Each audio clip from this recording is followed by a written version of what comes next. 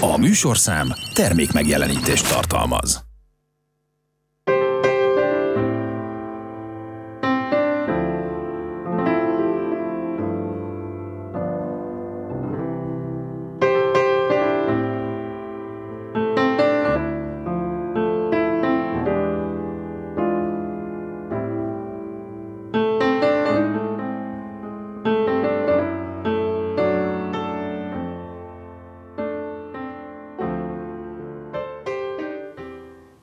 Szép estét kívánok, köszöntöm a Fehérvári Beszélgetések nézőit. Június 18-án a Megadens Székesfehérvári Táncszínház Egyesületet, illetve az alapító Megadens Táncstudió negyedszázas évfordulóját köszönhetjük a Vörösmarty Színházban. Erről fogunk ma beszélgetni. Vendégem Róvó Tamás, az Egyesület alapítója és művészeti vezetője, a Vörösmarty Színház táncművésze, hadd mondjam már tovább, és koreográfusa, névodíjas, táncpedagógus, a sporttáncok mestere, Európa bajnoki, ezüst, világbajnoki, bronzérmes, sótáncos, a tánc világáért, a világ táncáért, nemzetközi díj birtokosa. Szervusz, örülök, hogy itt vagy velünk. Nagyon köszönöm a meghívást. Nagy Ez pedig egy nagyon jeles ünnep. Ugye egy kicsit vissza kell mennünk az időbe 1996-ban, amikor te megalapítottad Győrben, hiszen akkor Győrhöz kötött a szerződésed a táncstúdiót. Én azt hiszem, hogy ez a 25 esztendő, illetve 2009 óta itt Székesfehérváron működő táncstúdió bizonyított. Mi volt az alapszámodra? Hiszen ez nem önmagában csak a táncról szól, hanem maga az a mozgásforma, amit te képviselsz, azt hiszem, hogy egyre népszerűbb lett a 21. században. Hát ez egy nagyon érdekes kérdés. Én igazság szerint ugye akkor 19 éves voltam, és az volt az első indítatásom, hogy elhatároztam, hogy minél több emberrel megszerettessem a táncot, hiszen én magam egy táncos családban nőttem fel, és én úgy gondolom, hogy a tánc az nagyon sok mindenre jó. Mindamellett egyébként, hogy egy hihetetlenül nagyszerű kifejezés forma, tehát én magam például a problémáimat és a bennem zajló folyamatokat sokkal jobban el tudom mondani a táncon keresztül, mint mondjuk szóban. Ez volt az egyik nekindulás. A másik indítatás az az volt nyilván, hogy annak idején nagyon-nagyon alacsony volt a fizetésem, és ezt én nem rejtem vék alá, és egyébként azt gondolom, hogy aki azt mondja, hogy a táncoktatást csak azért csinálja, mert szereti, az igazság szerint nem valós. Nyilván nem a pénz a legfontosabb ebben, de ugye egyfajta módon fizetés kiegészítésképpen indultam ennek. De aztán az évek során, hála Istennek eljutott odáig a, a helyzet, hiszen én alapvetően nem ebből élek, de természetesen nyilván az ember ingyen nem csinál semmit, de hogy én 20 fővel hoztam létre ott akkor ezt az egyes, együttest, és abban az időben nem volt hip-hop tánc együttes abban a városban. És arra nagyon büszke vagyok a mai napig, hogy az első hip-hop tánc együttes egy Győr városának, ami azért nem egy kisváros, ezt én alapítottam és én hoztam létre, és a ma összes működő tánccsoportban, ami Győrben működik, rengeteg tánccsoportot valamikori tanítványom vezet, illetve nagyon-nagyon sok tánccsoportban érintett vagyok olyan értelemben, hogy valamikori tanítványom éppen ott táncol, vagy ott vezető, vagy ott tanít, vagy nem tudom, illetve hát a Győri Nemzeti Színház tánckarában több valamikori tanítványom dolgozik jelen pillanatban, mint főállású táncos. Ez abszolút sikersztori a tiéd. Mennyit köszönhetsz édesapádnak, hiszen volt alkalmunk itt egy Megadance előadásnál beszélgetni, és ez egy fantasztikus ember, aki nagyon-nagyon sok mindent csinál,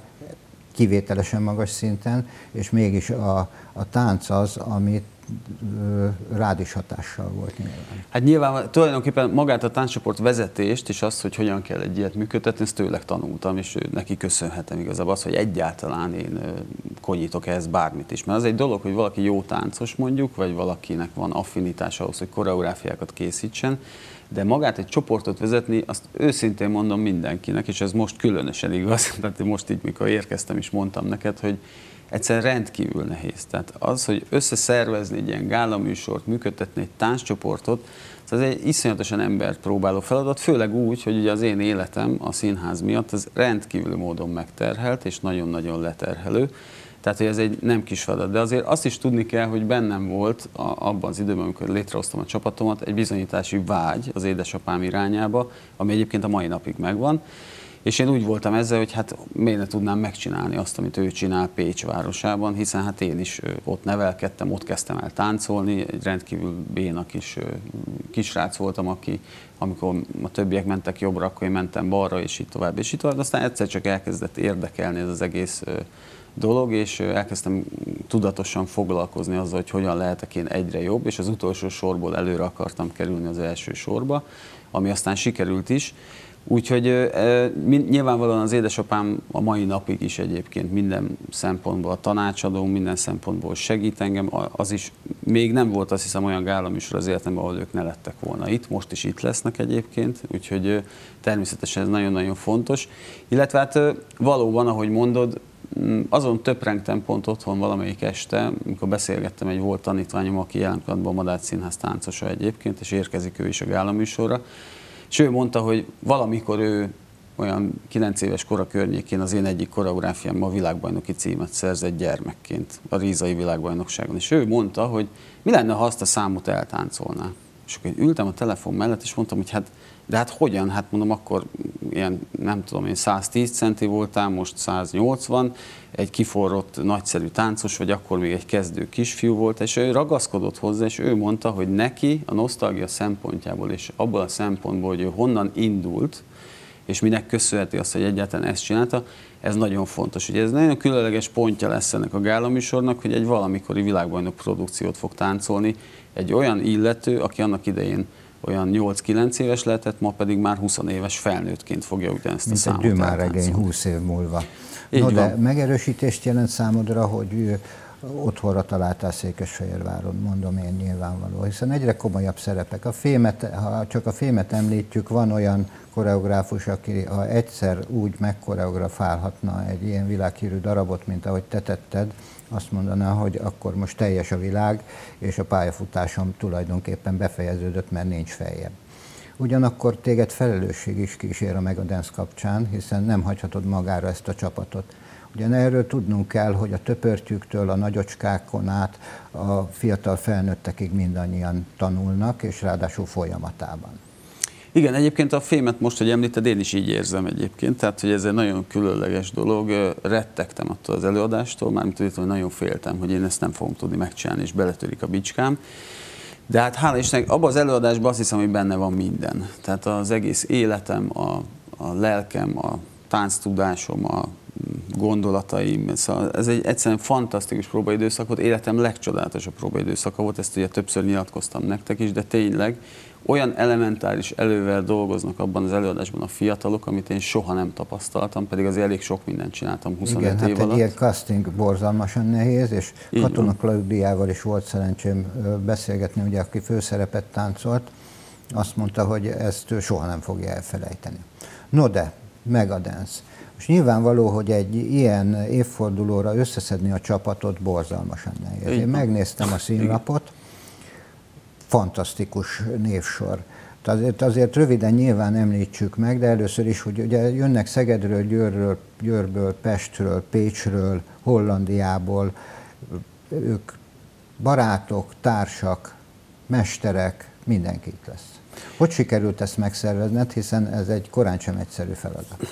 Igen, hát ilyen pillanatban is nagyon, tulajdonképpen az egész napjaim abból áll, rohanásokból állnak és szervezésből állnak. Hát a, mindenki, aki ezen a gálomisoron fellép, vagy valamikori tanítvány, vagy családtag, vagy barát, vagy szakmai oldalról ismerős, de mindenki olyan, akihez nekem van kötődésem. Tehát senki nem olyan, hogy mondjuk én fölütöttem, nem tudom én, az egyik internetes oldalt, és akkor ki az, aki ma nagyon népszerű táncos, nem tudom micsoda, hívjuk meg. Tehát nem így működött a történet. Például itt van amit szoktam emlegetni, és számomra egy nagyon-nagyon különleges és megtisztelő dolog, hogy Domán Dalma hazaérkezik Hollandiából, aki a Scapino Balett szólistája egyébként. Azt azért tudni kell, hogy a Scapino Balett az a világ egyik leghíresebb kortástánc együttese, és ez nem mese, és ez nem én találtam ki. Ha bárki Igen. utána néz és utána olvas, a világ egyik leghíresebb együttesében táncoló hölgy, Igazság szerint úgy történt, hogy ráírtam egy messengeren, és megkérdeztem tőle, hogy ez is ez lenne, és azt mondja, fú, nagyon örült, nem tudom, és visszaírta, hogy ő aznap,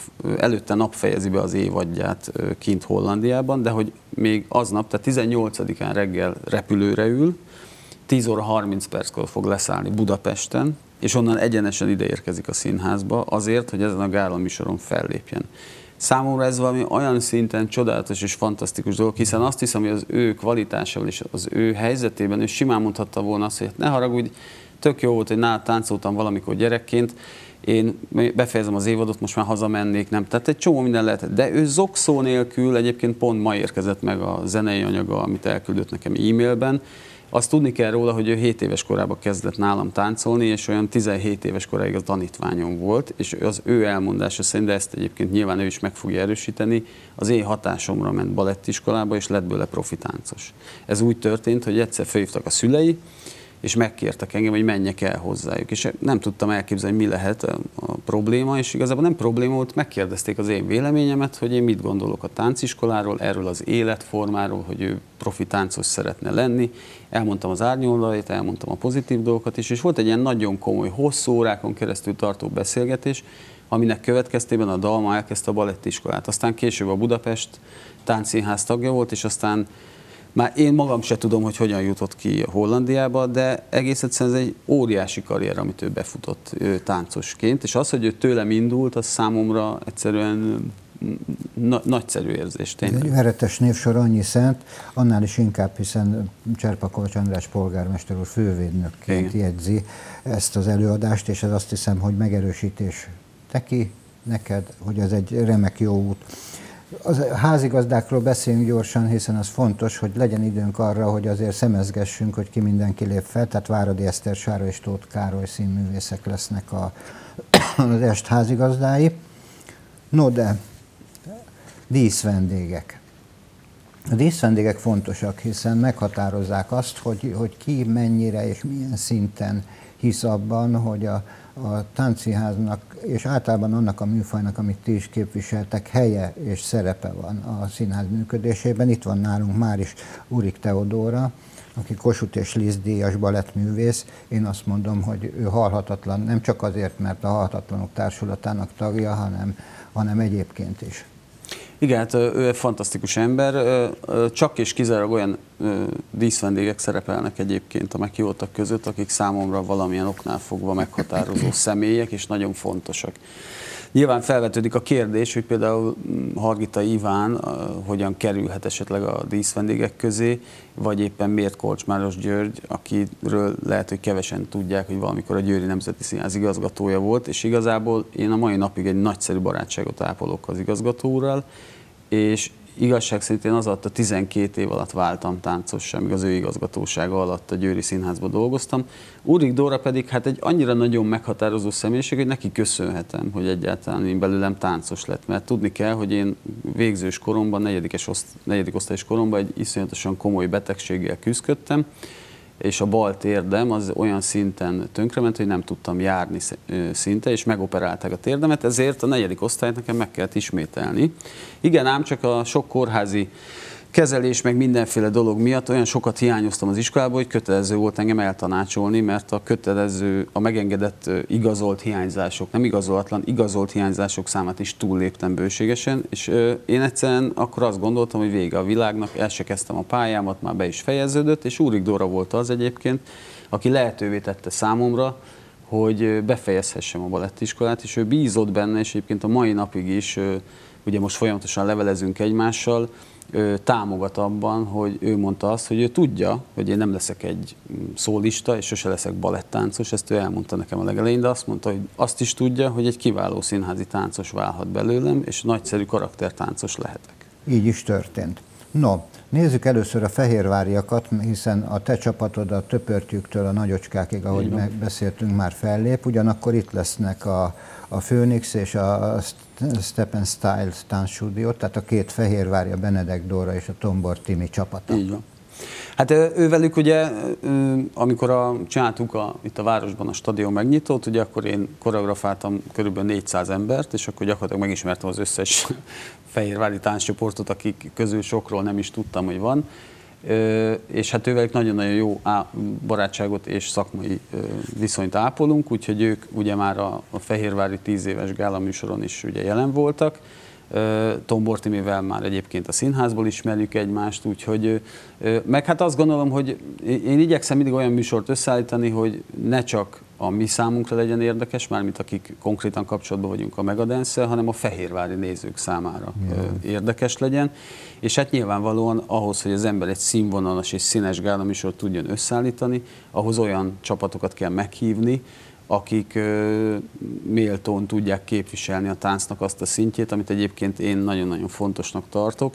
És egy pillanatra bocsáss meg, csak annyit hadd mondjak, hogy tényleg a Cserpalkovics Andrásnak nagyon köszönjük azt a támogatást, és most nem a mostani évről beszélek, hanem hogy alapvetően én ugye 14 éve vagyok Fehérváron lassan, és én azt hiszem, hogy az első egy-két év után egy talán premiéren ismerkedtem meg polgármester úrral, és onnantól kezdve a mi kapcsolatunk, ez egy folyamatos, teljesen baráti kapcsolatot, akármikor találkoztunk az utcán, két-három mondatra megálltunk egymásra beszélni, és mindig dicsérte a táncosaimat, mindig dicsérte a Megadance, de egyébként is azt gondolom, és ez most itt nem a nyalás helye, én úgy érzem, és azt gondolom, hogy Székesfehérvár városa olyan szinten támogatja a művészetet, ami szerintem egyedülálló. Így van, egyetértek.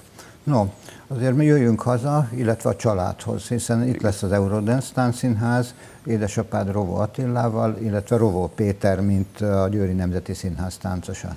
Ez egy jó csapat. Igen, különleges lesz, mert az öcsém, az öcsém a Győrben táncolt utoljára, akkor volt tíz éves a csapatom, még a Győri, és akkor azon a gálán még felépít, és onnantól kezdve soha többet egyetlen gálaműsoromon se tudott szerepelni, mert egyszer nem ért rá, és nem tudtuk összehozni, és most újra, hála Istennek úgy tűnik, hogy összejön ez.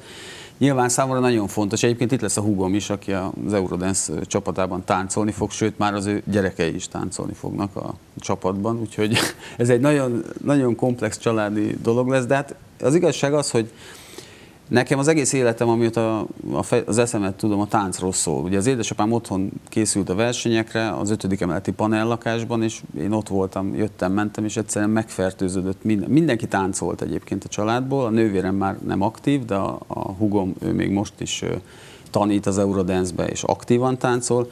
Az öcsém ugye hivatásos táncos lett, én magam ugye ezt a szakmát választottam, az édesapám csak ezzel foglalkozik, tehát ő már sugárfizikusként, ami egyébként az egyik, egyik szakmája, ő egyáltalán nem tevékenykedik, csak a táncstúdióját vezeti, és a, abból él, hogy táncos fellépéseket vállalnak és oktat.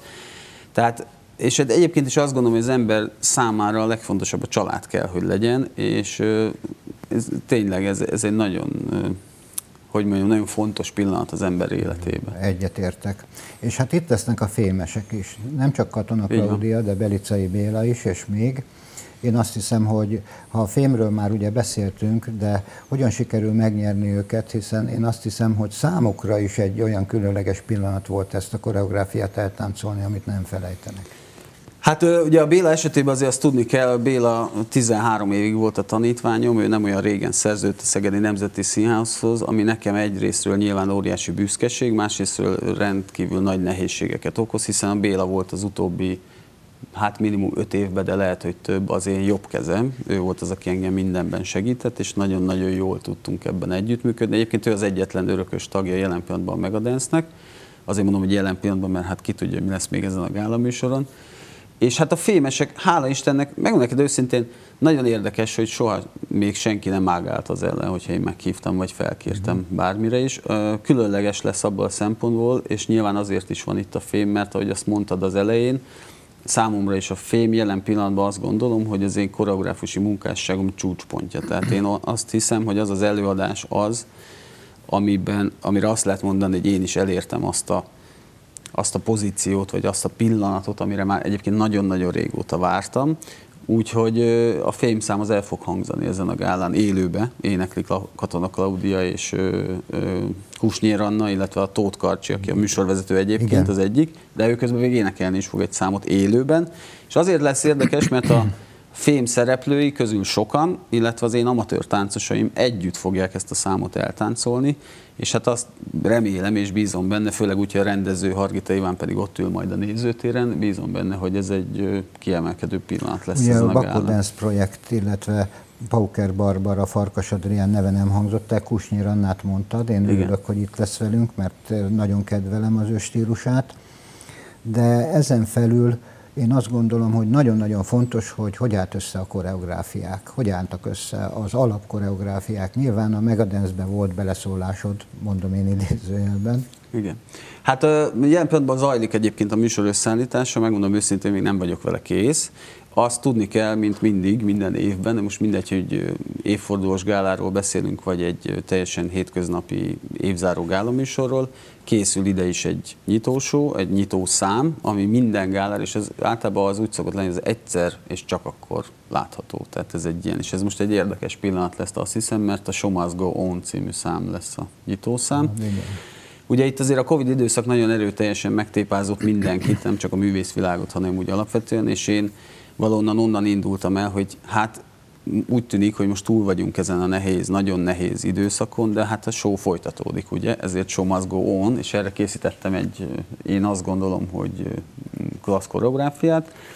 És hát a többiek azok, meg most ismerkedem még azok, ugye a Főnixesek és a Steppenstein sok munkásságát ismerem, tehát tudom milyen stílusú számokat csinálnak, miket hoznak, ami szerintem érdekes, hogy rock and roll az egy, az egy különleges műfaj, én ezt pont nem is művelem egyébként, tehát ugye én ilyen hmm. dolog, valamikor rock and rollztam, de nem tanítom ezt, tehát az nyilván egy színfoltja lesz a gálának, illetve hát mindenki, hát a Pauker Barbie pedig hát ugye ő régóta most már gyakorlatilag sokkal többet van Budapesten, mint Székesfehérváron, de azért ő itt egy nagyon mm, tevékeny táncos volt mindig is. Farkas Adriánról meg annyit kell tudni, hadd mondjam előtt, mert hát szegény ő nagyon izgul már. Most is pont az anyukájával beszéltem, mielőtt idejöttem. Ő egy hat éves kisfiú, Farkas Adrián, és Michael Jackson fog táncolni.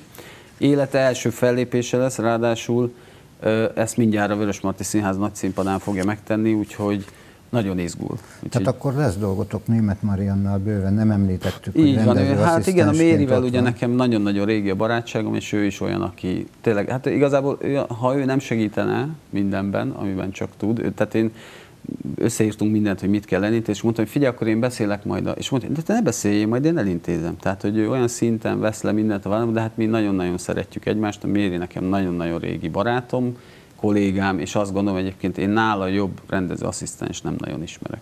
Ugye sok gyakran beszélnek így a 21. században korszakváltásról. Nyilvánvaló, hogy a Megadance-nek is bizonyos értelemben, hiszen a, a gyerekek, a, a zenei stílusok is változnak. Ti hogy álltok ebben? Ezt azért kérdezem, mert nagyon sokan gondolnak arra, hogy hogy rendben van a kortárs tánc, a kortárs táncszínház, lásd a balett színházban is megjelent Székesfehérváron, de az a fajta stílus, amit ti képviseltek, az egyedi mindenképpen. Kell azt fejleszteni, tovább lépni? Maximálisan. Hát nagyon nehéz egyébként, most is nehéz időszakon vagyunk túl, vagy hát igazából még most is tart ez az időszak. Ugye egy társaport életében, amit én tapasztaltam az elmúlt 25, egyébként ami már 26 év tulajdonképpen, mert ugye a Covid miatt nem tudtunk gálát tartani.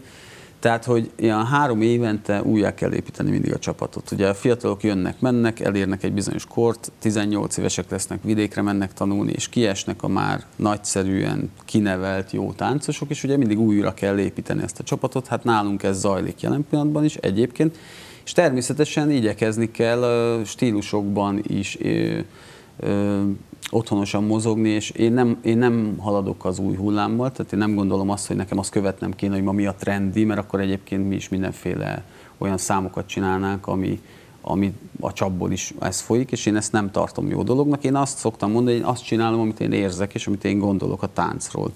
De nyilvánvalóan attól lesz jó szerintem egy csapat, ha minél sokszínűbb. Ezért nálunk van a hip-hoptól elkezdve a sótáncon keresztül, a jazzesebb, a kortás vonal felé közelítő koreográfia, ami egyébként mind látható lesz a gálán, és vannak karaktertáncok is, mint a matróz tánc, vagy egy western show, vagy country, ilyesmi, mert én egyébként az életem során nagyon-nagyon sok táncstílus tanultam, hála Istennek, és én ezt próbálom ötvözni. Illetve ami nagyon fontos a váltással kapcsolatban, amit kérdeztél, hogy én ugye hip-hoppal kezdtem 19 évesen, és csak és kizárólag azt csináltam, semmi mást. Tehát ilyen ekte módon hip-hop. Ma pedig a hip-hopot sem a legkevésbé, és sokkal inkább a tánc színház felé megyek, ami nyilvánvalóan azért van, hiszen én nem csak 25 éve vezetek tánccsoportot, hanem 25 éve vagyok úgymond profi táncos, tehát 25 éve végeztem, és 25 éve dolgozom egyébként színházban is. Tehát, hogy ez egy nagyon, nekem hármas gála műsor ilyen szempontból, tehát ma már sokkal inkább színházi produkciókat csinálok, hiszen ebben érzem jól magam. Tehát mi alapvetően musical zenékre táncolunk, de nagyon sok például. Most lesz, ami érdekes, talán lesz Lady Gaga szám, amit én azért soha életemben nem is hallgattam Lady Gagát, és aztán ezt a, az ő filmjét én megnéztem, és akkor jöttem, hogy úristen, mennyire fantasztikus énekesnő. És aztán ezek a zenék no. megfogtak, és ezek inspiráltak arra, hogy hogy más típusú számokat is csinálja. No, érdeklődéssel várjuk. Tomi, köszönöm szépen, hogy megtiszteltél, ott leszünk természetesen, a nézőket is erre búzítom, kedves nézőink, tehát június 18-án a Őrös Marti Színházban várják önöket, hiszen a Megaden Székesfehérvári Táncszínház Egyesület 25. évfordulóját ünnepli. Legyenek ott, tartsanak velünk. Köszönöm a figyelmüket, viszontlátásra!